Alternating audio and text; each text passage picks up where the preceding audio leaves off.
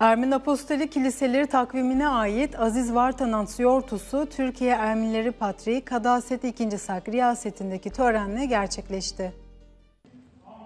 Ermeni Apostolik Kiliseleri takvimine ait Aziz Vartanans yortusu 16 Şubat Perşembe günü Feriköy Surp Vartanans Kilisesi'nde Patrik II. Sahak riyasetindeki kutsal sunu ayiniyle kutlandı.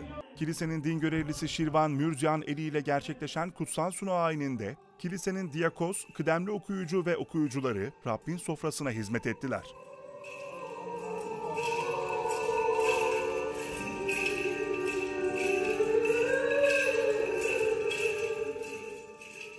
Diyakos Armenak Kazancıyan günün İncil okuma parçasını okudu. Ayin sırasında toplu tövbeyi başrahip Zakios Ohanyan yaptırdı. Komünyon dağıtımı ve kutsal sunu ayininin ardından Patrik II. Sahak Ermenice vaaz verdi. Pederane dile töreniyle tüm dünya apostolik Ermenileri Katolikosu 2. Karakin anıldı. Daha sonra Surp Vartan, Mamigonyan ve Vartanas Savaşı'nda şehit düşenler başta olmak üzere tüm Rab'de uyuyanlar için ayini ruhani dualar okundu. Patrik II. Sak'ın kutsaması ve hep birlikte söylenen Rabbin duasının ardından söylenen ilahiyle tören son buldu.